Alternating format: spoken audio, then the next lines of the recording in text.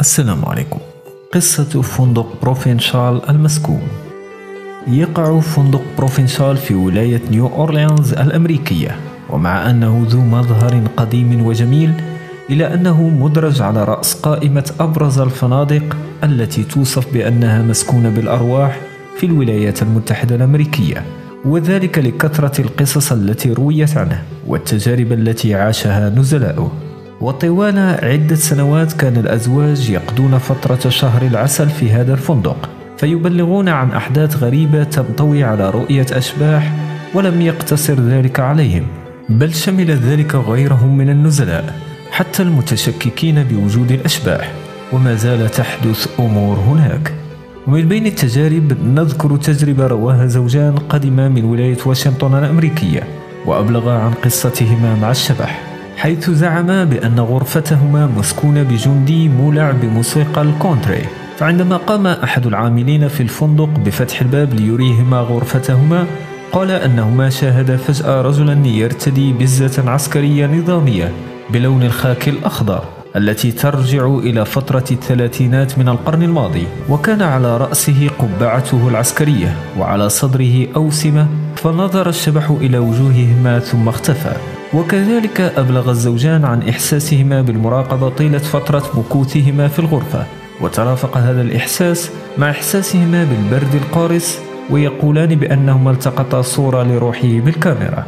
وقيل مرارا في العديد من تجارب النزلاء والتي نشرت على مواقع الإنترنت بأنه كلما جرى تغيير تردد جهاز الراديو في الغرفة إلى أي قناة فإن الشبح يقوم بإعادة التردد دائما إلى قناة الراديو. التي تذيع أغاني الروك القديمة وتدعى ويتكس إف إم.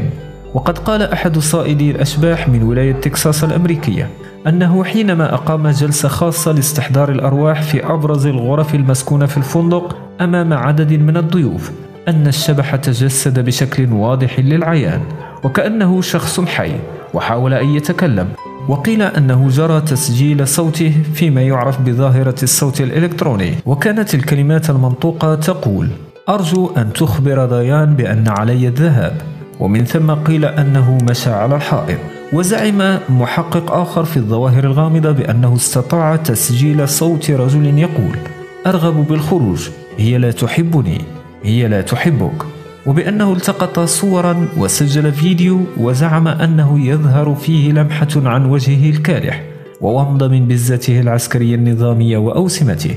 وقد قدم محققون آخرون ممن يوصفون بصائدي الأشباح ومعهم كذلك ضيوف آخرون تجارب أخرى عن هذا الشبح. وكانت هناك ضيفة على الفندق تدعى ماردي غراس تمكث فيه فأخبرت موظف الفندق بأن شيئا ما أمسك يدها. وسحبها من السرير بعد أن عادت في ليلة متأخرة من شارع بوربون في الركن الفرنسي. ثم شعرت بأن أحدا يركلها ويسحبها بسرعة في الغرفة ويشدها نحو الحائط فلم تحتمل وأنهت إقامتها في الفندق على الفور. وأمور غريبة أخرى جرى الإبلاغ عنها مثل فتح الأبواب وإغلاقها وسماع وقع الأقدام بدون سبب ظاهر وبقع باردة في المكان أخرى ساخنة ومشتعلة. صورة التقطها مايكل بيكر تزعم وجود نشاط شبحي في المكان وفيما مضى كان هذا الفندق مستشفى حكومي في عهد الكونفدرالية في أمريكا حيث ما زالت تشاهد أطياف جنود الكونفدرالية والأطباء. كذلك تهيم في الأروقة أو تأتي إلى النزيل لطلب المساعدة.